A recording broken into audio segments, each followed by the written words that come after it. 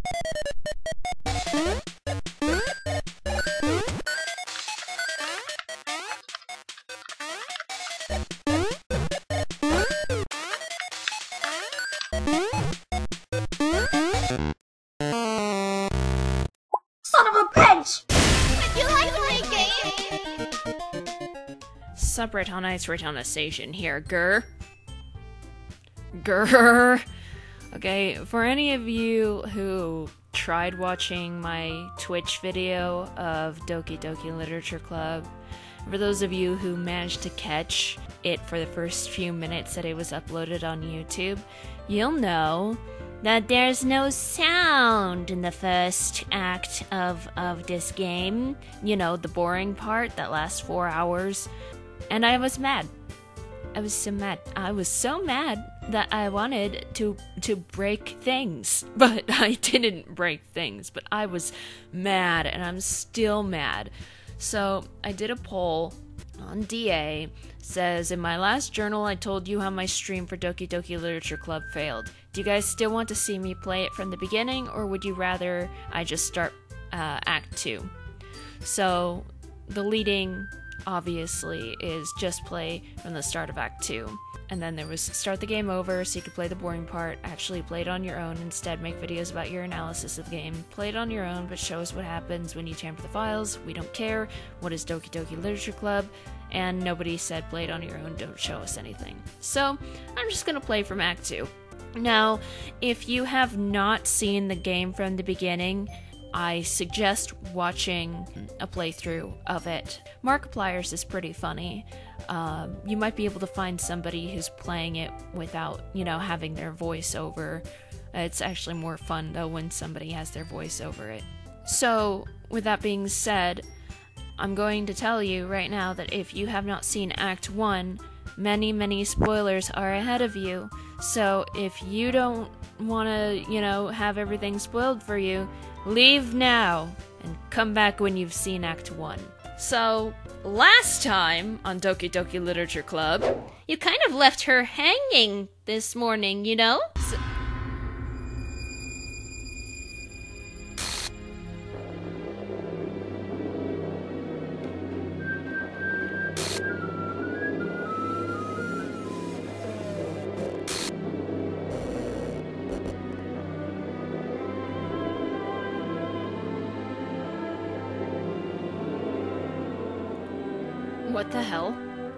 What the hell?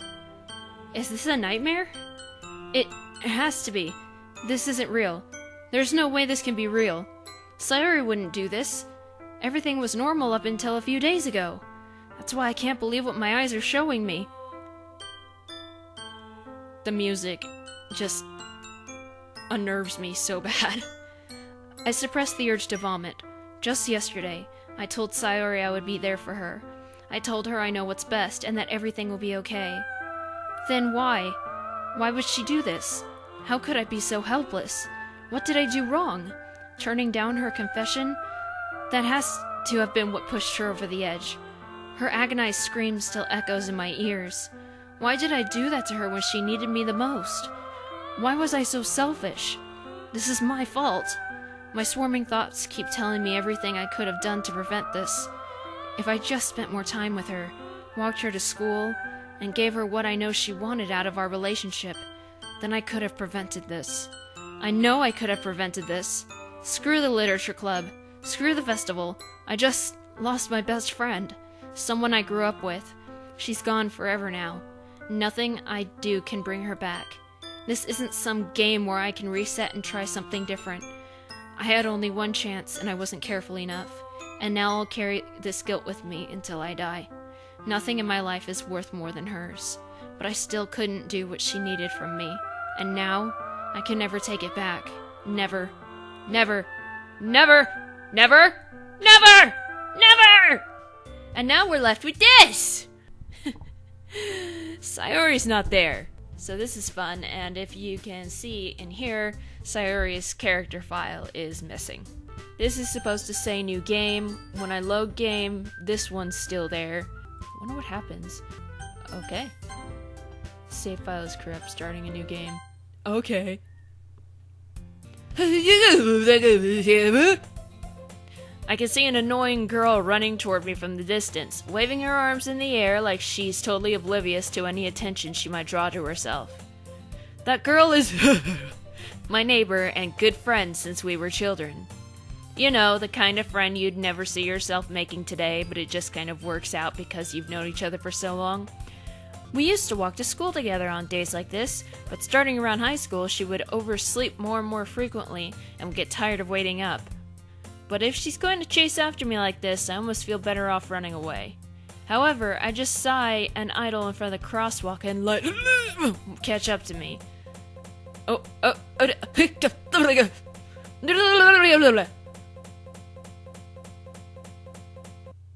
It's an ordinary school day like any other. Mornings are usually the worst, being surrounded by couples and friend groups walking to school together. Meanwhile, I've always walked to school alone. I always tell myself it's about time I meet some girls or something like that. But I have no motivation to join any clubs. I'm perfectly content just getting by on the average while spending my free time on games and anime. There's always the anime club, but it's not like there would be any girls in it anyway. The school day is as ordinary as ever, and it's over before I know it. After I pack up my things, I stare blankly at the wall, looking for an ounce of motivation. Clubs. There really aren't any that interest me. Besides, most of them would probably be way too demanding for me to want to deal with. I guess I have no choice but to start with the anime club. Shinji? Monika? Now, in Japanese, her name is probably pronounced Monika, but since I don't know for certain, I'm gonna call her what everybody else calls her Monika, because I'm American. Oh my goodness, I totally didn't expect to see you here. Now, what I tried in my last video um, is I'm trying to make it sound like a badly English dubbed anime. So, it's been a while, right? I'm totally not flirting with you in this pose. Ah, uh, yeah, it has. Monika smiles sweetly. We do know each other. Well, we rarely talked, but we were in the same class last year. Monika was probably the most popular girl in class. Smart, beautiful, athletic. Basically, completely out of my league. So having her smile at me so genuinely feels a little giggity. What did you come in here for, anyway? Oh, I've just been looking for some supplies to use for my club. Do you know if there's any construction paper in here? Or markers? I guess you could check the closet. You're in the debate club, right? About that. I actually quit the debate club. Really? You quit? Yeah. To be honest, I can't stand all the politics around the major clubs. It feels like nothing but arguing about the budget and publicity and how to prepare for events. I'd much rather take something I personally enjoy and make something special out of it. In that case, what club did you decide to join? My ear itches. Actually, I'm starting a new one. A literature club! That took me by surprise. Literature? That sounds kind of dull. I was in a writing club in high school. Um, I wasn't very active in it because, I don't know, it was during lunch and I don't know. How many members do you have so far? Um. it's kind of embarrassing, but there are only three of us so far. It's really hard to find new members for something that sounds so boring. Well, I could see that. But it's really not boring at all, you know? Literature can be anything reading, writing, poetry. I mean, one of my members even keeps her manga collection in the club room. Wait, really? Yeah, it's funny, right? She always insists that manga is literature, too. I mean, she's not wrong, I guess. And besides, a member is a member, right? Did Monika say she? As in, boobs? Hey, Shinji. By any chance, are you still looking for a club to join? Uh, I mean, I guess so, but. In that case. is there any chance you could do me a big favor? I won't ask you to join, but if you could at the uh, very least visit my club, it would make me really happy. You know, really happy. Please. Um. Well, I guess I have no reason to refuse. Besides, how could I ever refuse someone like Monika? sure, I guess I could check it out. Ah, awesome! You're really sweet, Shinji, you know that? It's nothing really. Shall we go then? I was just thinking about her boobs. I love boobies! And how in anime it seems like the boobs are always around the collarbone. I just think it's funny. It's like it looks wrong if it's not. I'll look for the materials in a, uh, another time. You're more important. And thus today marks the day I sold my soul for cupcakes. I mean, to Monika, and her irresistible smile. I timidly follow Monika across the school and upstairs, a section of the school I rarely visit, being generally used for third year classes and activities. Monika, full of energy, swings open the classroom door. I'm back! if I remember correctly, that's a rare occurrence. By the way, I've already seen this game played to the end, and I've uh, looked up lots of secrets, I've looked, looked up all the endings, etc., etc. I know what happens, so it's gonna take me off guard just because of my bad memory, but I, I do know that these things are going to happen. And I brought a guest with me. huh? Uh, a guest? Seriously, you brought a boy? Way to kill the atmosphere. Don't be mean, Natsuki. But anyway, welcome to the club, Shinji. Ellipsis? All worlds escape me in this situation. I said worlds, I meant words. This club is full of incredibly cute girls. so, let me guess. You're Monika's boyfriend, right? What? No, I'm not. Natsuki. The girl with the sour attitude, whose name is apparently Natsuki, is one I don't recognize. Her small figure makes me think she's probably a first year. Uh, anyway, this is Natsuki, energetic as usual, as usual, and this is Yuri, the vice president. It's nice to meet you. Yuri, who appears comparably more mature and timid, seems to have a hard time keeping up with someone like Natsuki. Yeah, it's nice to meet both of you. so, uh, so I ran into Shinji in a classroom and he decided to come check out the club. Isn't that great? Wait, Monika! Didn't I tell you to let me know in advance before you brought anyone new? I was going to. Well, you know. Sorry, sorry. I didn't forget that, but I just happened to run into him. In that case, I should at least make some tea, right? Yeah, that would be great. Why don't you come sit down, Shinji? The girls have a few desks arranged to form a table. Yuri walks to the corner of the room and opens the closet. Meanwhile, Monika and Natsuki sit across from each other. Still feeling awkward, I take a seat next to Monika. So, I know you didn't really plan on coming here, but we'll make sure you feel right at home, okay?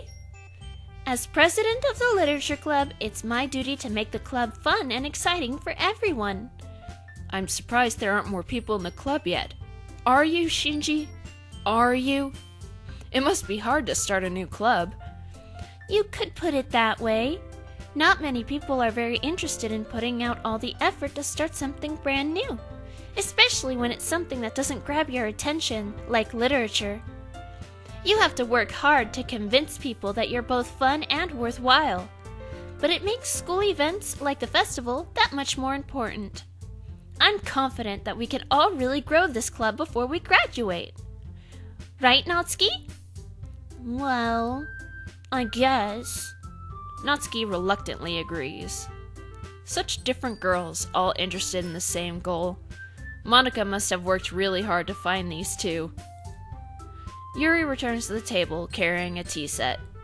She carefully places a teacup in front of each of us before setting down the teapot in the middle. You keep a whole tea set in this classroom? Don't worry, the teachers gave us permission. After all, doesn't a hot cup of tea help you enjoy a good book? Uh, I guess. Did, did you notice that you have the biggest boobs out of all of the girls in this club? Don't let yourself get intimidated. Yuri's just trying to impress you. Ah, uh, that, that's not it. Oh, that's not. Insulted, Yuri looks away. I meant that, you know. I believe you. Let's just forget about it. Well, tea and reading might not be be a pastime for me, but at least I enjoy tea. I'm glad. Yuri faintly smiles to herself in relief. So, Shinji, what kinds of things do you like to read?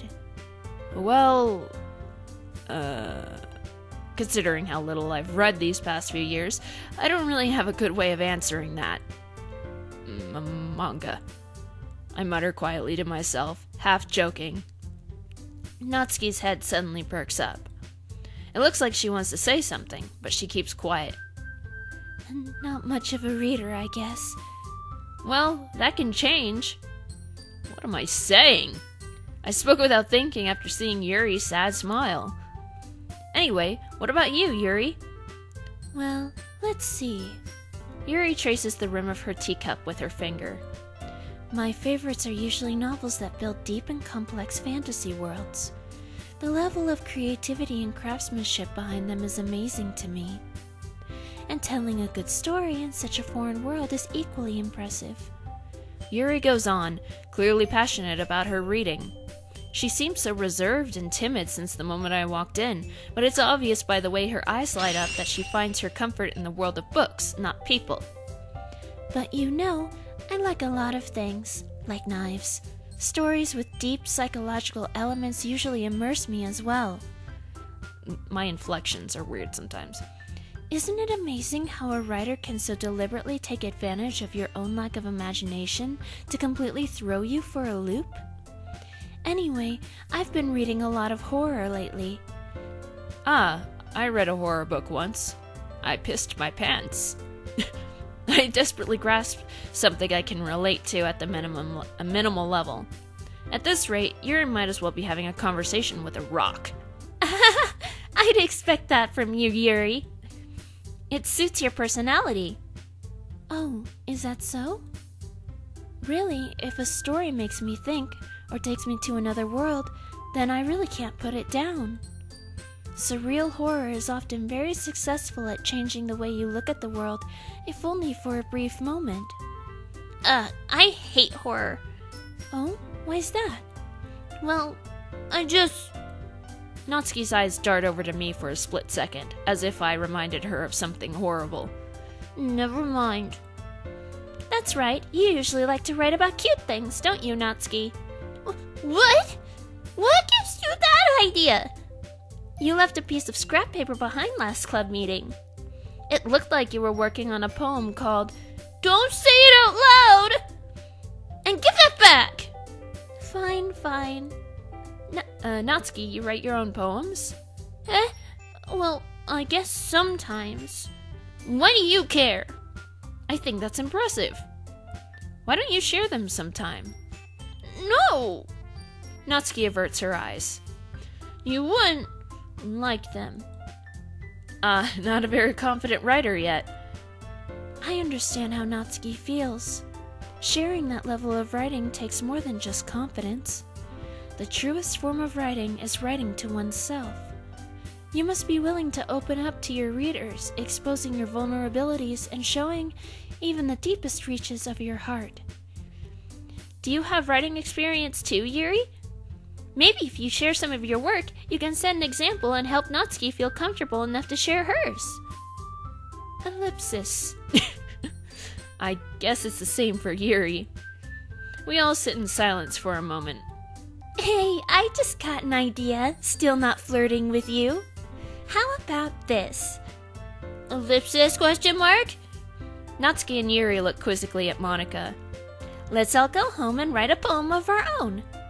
Then, next time we meet, we'll all share them with each other. That way, everyone is even. Uh, um, ellipsis. ah, I mean, I thought it was a good idea. Well, I think you're right, Monika. We should probably start finding activities for all of us to participate in together. I. Oh, I did decide to take on the responsibility of vice president after all. I need to do my best to nurture the club as well as its members. Besides, now that we have a new member, it seems like a good step for us to take. Do you agree as well, Shinji? I'm put on the spot.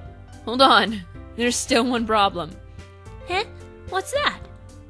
Now that we've reached the most important topic, I bluntly come forth with what's been on my mind the entire time. I never said I would join this club. Monika may have convinced me to stop by, but I never made any decision. I still have other clubs to look at, and. Um. I lose my train of thought. All three girls stare back at me with dejected eyes. But. I'm sorry. I thought. Hmm. Eh. The girls exchange glances before Monika turns back to me. I guess I need to tell you the truth, Shinji. The thing is, we don't have enough members yet to form an official club. We need four. And I've been trying really, really hard to find new members. And if we don't find one more before the festival. Ellipsis. I'm. I'm defenseless against these boobs. How am I supposed to make a clear headed decision while it's like this? I would feel terrible for letting everyone down in this situation. And besides, the club itself seems pretty pretty relaxed, except for me, with my gino- my ginormous boner. so, if writing poems is the price I need to pay in order to spend every day with these beautiful boobs, right. Okay, I've decided then. I'll join the literature club. One by one, the girl's eyes light up. Oh my goodness, really? I totally didn't manipulate you into saying yes. Do you really mean that, Shinji? Yeah. it could be fun, right? You really did scare me for a moment. I mean, if you really just left after all this, I would be super pissed. Shinji, I'm so happy. We can become an official club now. Thank you so much for this. You're really amazing. I'll do everything I can to give you a great time, okay? Uh, thanks, I guess. Okay, everyone. I think with that, we can officially end today's meeting on a good note. Everyone remember tonight's assignment. Write a poem to bring to the next meeting so we can all share. Monika looks over at me once more. Shinji, I look forward to seeing how you express yourself. yeah. I, can I really impress the glass star, Monika, with my mediocre writing skills? I already feel the anxiety welling up inside me. Meanwhile, the girls continue to chit chat as Yuri cleans up the, t- uh, the tea set. I guess I'll be on my way then. Okay. I'll see you tomorrow then. I'm still not flirting with you. I can't wait. With that, I depart the club room and make my way home.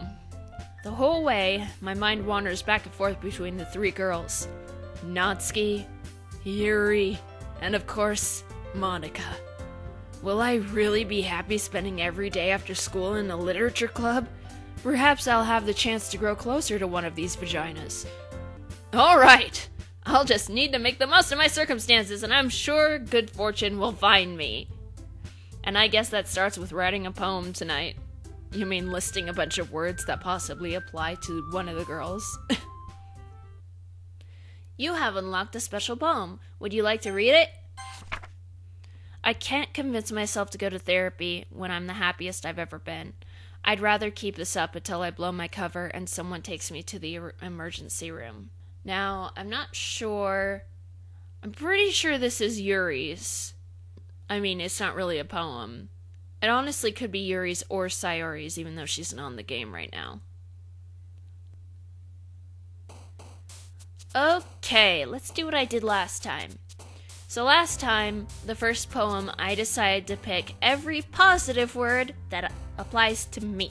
So, cute, sing, marshmallow, um, strawberry. Obviously, this is gonna apply to Natsuki. Kawaii, fluffy, candy, games, Climax. Beauty.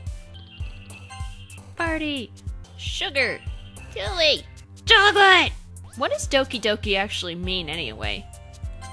sparkle, Pink. shiny, Rainbow.